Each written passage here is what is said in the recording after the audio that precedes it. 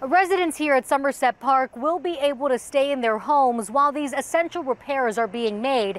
It was the announcement they were hoping to hear, but many still want answers on how and why things got so bad. Furious, scared, worried, and mostly thinking about my neighbors. Residents in this Henderson neighborhood were preparing to pack up their things and go. It's a disaster, it's a mess. After receiving news that hidden underground water leaks were turning Somerset Park into an evacuation zone. We put so much money into just finally owning a home instead of renting, and then it's just going to be ripped from me, you know. It was a nightmare turned reality for residents who received these notices on their doors last week. The letter sent out by the city of Henderson explained that the HOA had until September 10th to fully repair the broken down water system. If not, residents would be forced out. What happened at Somerset Park caused our residents unacceptable undue stress. These people's lives were flipped upside down because of an issue they weren't even aware of. At a press conference on Tuesday, Henderson Mayor Michelle Romero addressed the crisis and explained that the decades old water system had deteriorated, causing water leaks that damaged private roadways, parking lots, and potentially even buildings. It is clear that decisive, immediate action must be taken. That action includes the city of Henderson, who will front the cost to update the problems underground if the HOA doesn't step up before next week's deadline. The bottom line is this we were completely and totally unwilling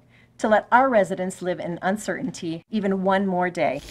The anticipated cost of the repairs is anywhere between $400 to $600,000, which includes bringing the system into compliance. Although the city plans to pay for the repairs using taxpayer dollars, there is an expectation they will be reimbursed. How and when is still up in the air. I understand that it's going to cost all of the homeowners money and I mean, at this point, we have to bite the bullet. But for now, there's a wave of relief and gratitude as they hold on to their homes. Thank you so much for coming through with this um, resolution to help the HOA. It's been a huge hardship for everybody.